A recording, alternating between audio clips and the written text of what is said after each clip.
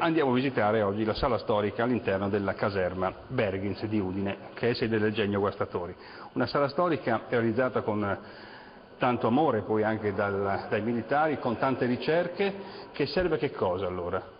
Eh, questo è più che altro un luogo dove si custodisce eh, memoria, tradizione, sacrificio di tante persone che hanno donato tutto ciò che avevano per i loro ideali, per la costruzione di un paese migliore. Questo è alla base. Un qualcosa che eh, arricchisce sicuramente i ragazzi che quotidianamente vengono in visita alla struttura e che permette di conoscere in maniera forse un pochino oh, diversa e più approfondita rispetto alla solita tradizione scolastica perché toccano con mano dei cimeli, degli aneddoti, delle storie particolari di persone che appunto per amor della patria hanno donato tutto ciò che avevano. Lei ci dice che questa sala storica è aperta a chi ne facesse richiesta insomma, per una visita? Assolutamente sì, è gratuito, eh, unico accorgimento, essendo all'interno di una struttura militare bisogna concordare semplicemente le date della visita. Le visite vengono tutte seguite e guidate, illustrate da personale appositamente eh, dedicato alla sala museale.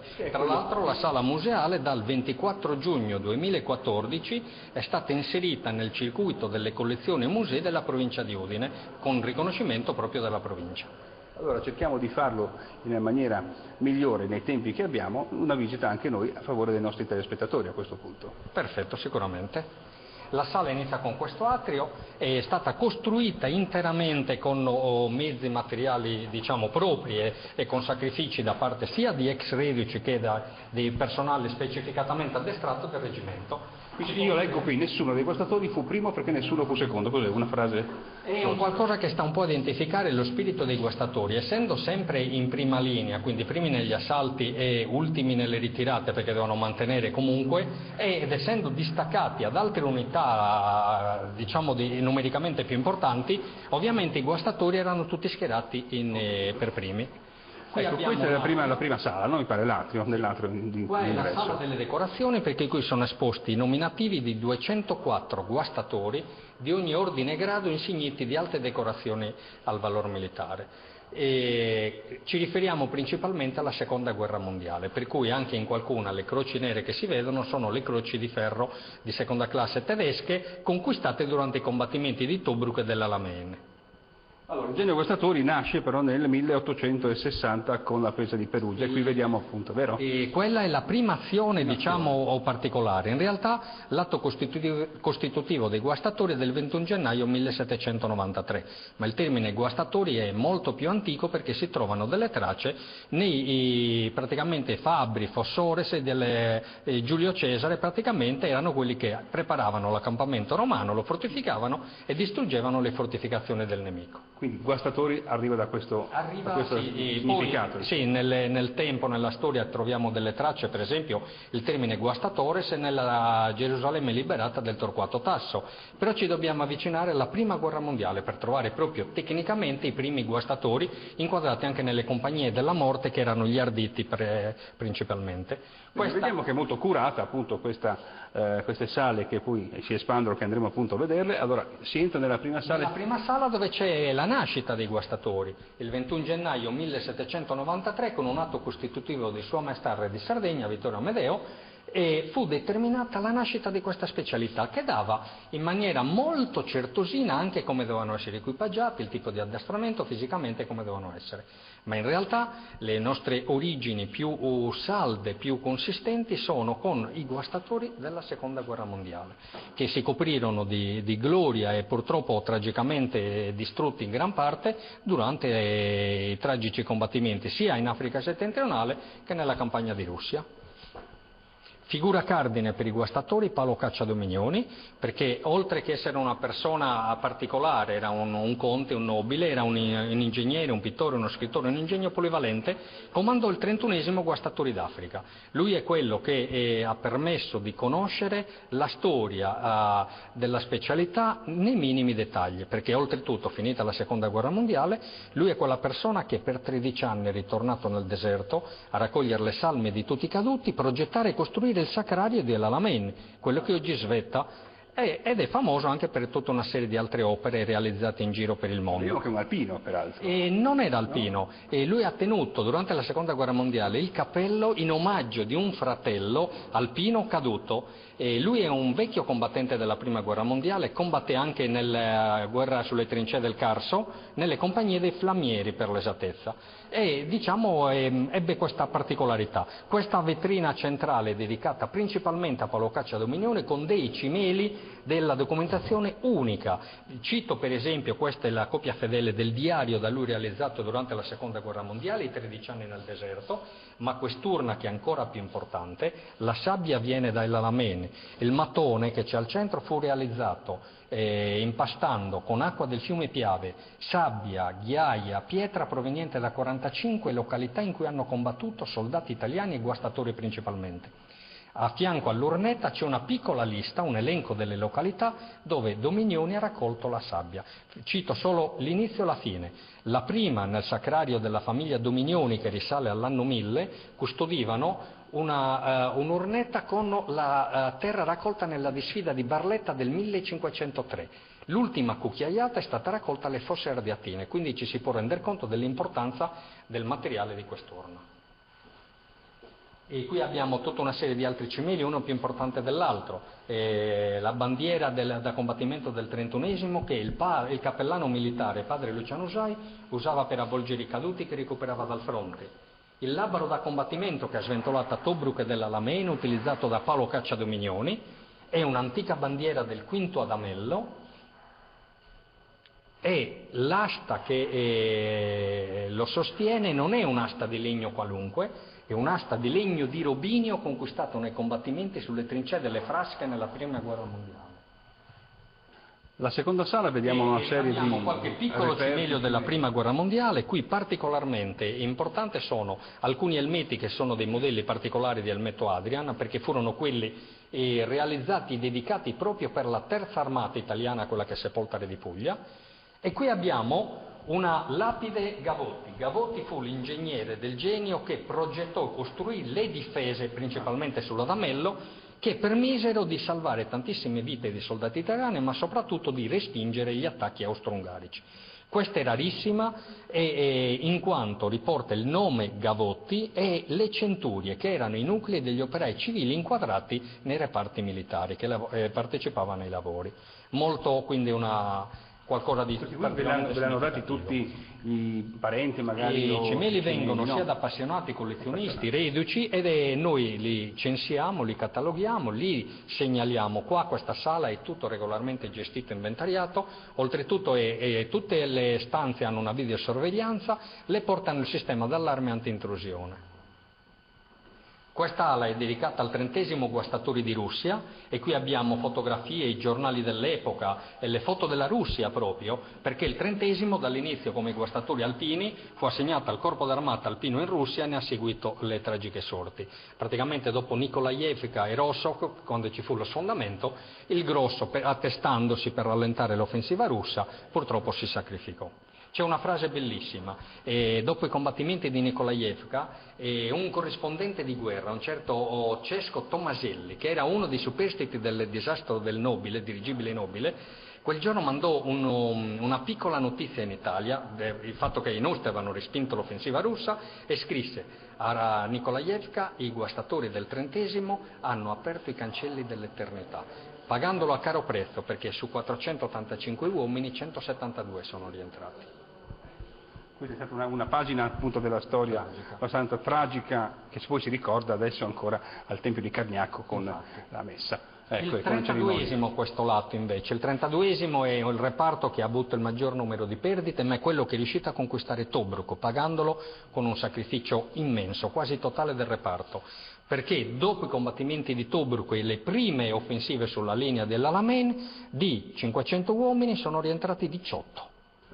E c'è una cosa particolarissima, Paolo Cacciadominioni, colpito dal sacrificio di Emilio Caizzo, il guastatore che sacrificandosi, facendosi esplodere con le cariche, permettendo di accedere ai fortini di Tobruk, realizzò il 16 maggio 1941 questo bozzetto su carta quadrettata, eh, intitolando L'ultimo balzo del guastatore Emilio Caizzo, 32 battaglione Tobruk. Non contento, realizzò poi il secondo a colori, che non lo soddisfece a pieno, per cui realizzò nel 76 l'ultimo. Questo è uno dei rari casi in cui c'è l'idea fissata, la prima per perfezionamento dell'opera e poi la definitiva. Il 32esimo ha il maggior numero di decorati di croci di ferro dai tedeschi, per esempio, proprio per gli atti eroici che durante la prima fase di guerra in Africa settentrionale compirono. E tra l'altro il nostro reparto, erede dell'870 nucleo guastatori che combatté nella guerra di liberazione, per cui abbiamo l'attestato di riconoscimento per aver partecipato alla guerra di liberazione nel territorio nazionale. Qui abbiamo oh, un'altra sala dedicata prima e seconda, con un po' di cimeli particolari, dopodiché abbiamo i vari attestati e riconoscimenti per le operazioni di pubblica calamità, perché come reparto genio interveniamo chiaramente nelle varie disgrazie che purtroppo colpiscono il Paese. Quindi parliamo Vaionto, Polesine, Sisma Filù 76, Campania Basilicata, alle ultime emergenza neve e esondazioni. Questi sono attestati per eh, operazioni all'estero, quindi parliamo Afghanistan, Iraq, Libano, in questa sala c'è una, la sala dei comandanti perché ci sono le foto dei comandanti da dopo la guerra praticamente e al centro c'è una piccola vetrina con l'attività specialistica dei guastatori, mine e campi minati. Ovviamente avendo aderito al Trattato di Ottawa sono state eliminate tutte le mine anti-uomo, ci sono solo mine anticarro, è stato sostituito con materiale fotografico. Quindi anche nell'ex Jugoslavia voi siete stati presenti? Sì, sì, sì, sì nuclei nostri e siamo stati nel 95 all'apertura proprio della missione, proprio per garantire al, al personale che era stato inviato nel, nel teatro una certa diciamo, sicurezza nelle, nei movimenti, nelle operazioni, proprio perché è un territorio ad alta densità di mine anche lì. E qui abbiamo altri cimeli particolari, materiale d'armamento, ma ci avviciniamo a quello che è diventato un po' il cuore della sala museale che è l'ultima eh, creazione. Praticamente è stato riprodotto un tratto di eh, zona di combattimento con un posto comando e una trincea realizzato a confine praticamente sul territorio nazionale a ridosso delle truppe austro-ungariche questo diorama interattivo, la trincea realizzato grazie alla Fondazione Krupp, l'aiuto, ecco, esatto, ci offre la, una luce scarsa effettivamente, come vediamo, sì. però no, no, lo, facciamo, lo, facciamo, così, okay. perché almeno allora, cerchiamo di essere Qui abbiamo, esatto, è stato ricostruito tutto con oh, materiale per la maggior parte originale dell'epoca, è stato tutto messo in sicurezza, cementato, abbiamo un posto d'osservazione protetto dalla lamina d'acciaio dove c'è la proiezione di un filmato che rappresenta proprio un, un assalto, quindi è un filmato in HD che eh, serve a dare l'idea dal punto d'osservazione di quello che si vedeva alla visuale dell'assalto. In so come fosse in trincea. Esatto, esatto. In sottofondo si vede e si sente praticamente una voce e un soldato che legge una lettera che ha inviato a casa. Abbiamo i colpi, qui abbiamo il posto praticamente dalla zona da combattimento, il fronte tra le due trincee, e qui abbiamo oh, quindi la ricostruzione con i reticolati, cavalli di Frisia, vari eh, colpi d'arma da fuoco, esplosioni. Abbiamo cercato di far immedesimare il visitatore in quello che era l'ambiente eh, tragico, cupo, estremamente duro dei nostri soldati durante la prima guerra mondiale. E questo come? Tramite una luce abbastanza soffusa, un ambiente eh, completamente eh, ricostruito per quanto possibile, dei colpi che proprio danno l'idea continua e, e le proiezioni di fumo e soprattutto di movimenti di materiali, come ci sarà sotto oh, un'esplosione delle rapiche il fischio, ecco, c'erano questi fischi, questi erano veri. Esatto, e ci sarà poi la proiezione, il movimento di oh, parte del reticolato sotto gli effetti di un'esplosione. Qua abbiamo anche l'eco dei colpi che esplodevano.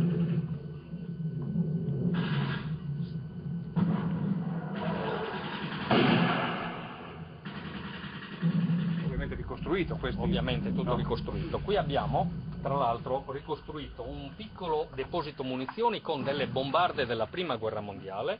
Naturalmente tutto ciò che è esposto e custodito in sala è perfettamente disattivato. Però questo c'era, era così. Questo era così, sono originali, queste sono tutte materiali originali. Da quest'altro lato abbiamo un posto comando del comandante di compagnia, che chiaramente è molto spartano, angusto, ma con materiali come erano quelli dell'epoca. Quindi e, e, ci sono i piccoli, accorgimenti utilizzati al fronte, questa è una bomba a mano italiana, un modello SIPE, spaccata, dove veniva messo il mozzicone della candela che veniva acceso per fare la luce. Qui sono i teatri di, di, di guerra? Sì, forse, queste no? sono tutte delle mappe della zona di... alcune sono predabelliche, anche la sciabola, per esempio è una sciabola austriaca da cavalleria. E qua è la realizzazione eh, realistica proprio di quello che. Ecco, guardi, guardi adesso.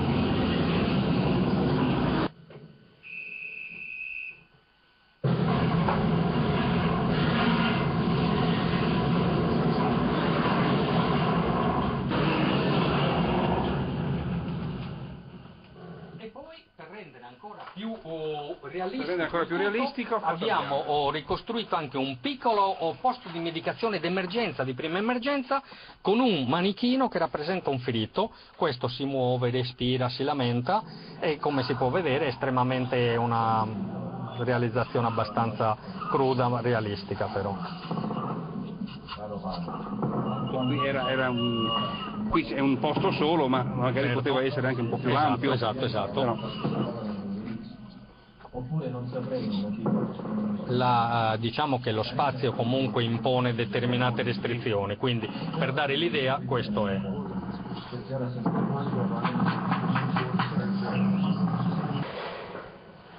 Qui presente anche la Lega Italiana per la difesa dei diritti dell'uomo, ecco diritti dell'uomo che qui vengono evidenziati nel senso che oh, qui si parla di guerra, però si parla di interventi proprio eh, durante la prima e la seconda guerra mondiale. Sì, è molto significativo per noi essere presenti in questa manifestazione e con il nostro collega mh, dottor Antonello Quattrocchi che fa parte anche del eh, Comitato Nazionale. Abbiamo voluto essere mh, presenti e soprattutto col pensiero, con, con il sentimento, con l'anima perché siamo molto vicini a questi momenti.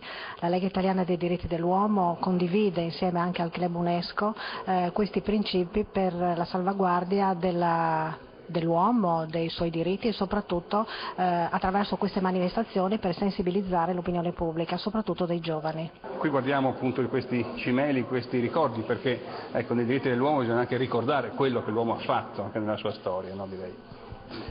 Qui eh, il museo del terzo reggimento Eugenio Guastatore di Udine racchiude un patrimonio storico incommensurabile come Lega Italiana dei diritti dell'uomo eh, noi siamo molto sensibili a, agli aspetti anche museali perché è un patrimonio che deve rimanere a ricordo e a sostegno e alla conoscenza per le nuove generazioni. Nello stesso momento il valore aggiunto che viene proposto da questa sala museale, oltre al valore storico umano espresso da Paolo Caccia Dominioni, è il ricordo il sangue dei caduti, il valore dei caduti italiani in vari teatri di guerra, che deve rimanere per tutta la cittadinanza udinese, del Friuli Venezia Giulia e per tutta l'Italia. Genio Guastatori dunque, ma non solo mi pare, c'è anche la, la, Croce Rossa italiana. Sì, la Croce Rossa italiana, soprattutto il corpo militare con il terzo Genio Guastatori opera su tutto il territorio nazionale, in Friuli Venezia Giulia, adesso stiamo provvedendo come NAPRO facenti parte del quinto centro di mobilitazione della Croce Rossa italiana, specialità del corpo militare italiano, con sede principale a Verona, il quinto centro si, eh, de, si denomina, stiamo effettuando delle operazioni assieme alla Polizia di Stato, ai Carabinieri, la Croce Rossa Militare Italiana e il terzo genio guastatori in opere di bonifica e di sminamento del territorio regionale. Sono state trovate migliaia e migliaia di, di bombe inesplose eh, derivanti soprattutto dalla, seconda, dalla, parte finale del secondo conflitto mondiale, lasciate dagli inglesi e dagli americani, lanciate soprattutto anche nelle zone dei quadrivium eh, della provincia di Pordenone. È un'operazione che è in corso con la massima competenza e serietà espressa sia dalle forze dell'ordine che dal corpo militare della Croce Rossa italiana. Beh, però in questo periodo si eh, celebrano i 100 anni invece della Grande Guerra, ecco. anche voi siete coinvolti in qualche maniera. Sì, noi siamo anche coinvolti, sosteniamo le operazioni anche di ricordo con l'asso arma, ci sarà la grande manifestazione del 2 giugno ma durerà tutto quanto fino al 1918 termine della guerra in Italia, ma nello stesso momento noi abbiamo iniziato anche a sostenere le iniziative delle, delle varie componenti dell'esercito nella ristrutturazione e nella riscoperta anche di siti che si riferiscono alla prima guerra mondiale.